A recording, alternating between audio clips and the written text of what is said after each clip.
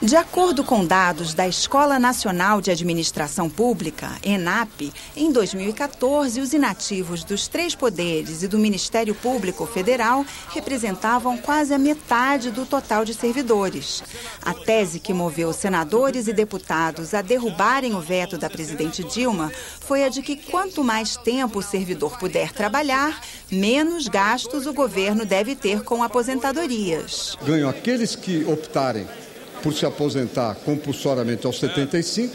Se quiserem aposentar aos 70 por ano de serviço, podem fazê-lo, é voluntário. Ganham as pessoas que recebem serviços públicos e ganham as finanças governamentais. A economia estimada de despesas é da ordem de 800 milhões a 1 bi 200 por ano daqui a alguns anos. Na verdade, o veto aconteceu porque a presidência da República afirmou que o projeto padece de vício de iniciativa. Só o presidente da República poderia tratar de aposentadoria de servidores da União. O Supremo Tribunal Federal diz que não há prerrogativa de iniciativa para leis complementares, apenas para leis ordinárias. Isso resolve a questão. Mas nem todos concordam com o que dizem os senadores a respeito da constitucionalidade da proposta. Para esse advogado, a aposentadoria compulsória aos 75 anos de idade pode ser derrubada pelo Supremo Tribunal. Julgamento, especialmente julgamento do Supremo Tribunal Federal, que é uma corte é, com temas predominantemente políticos, são sempre é, de difícil previsão.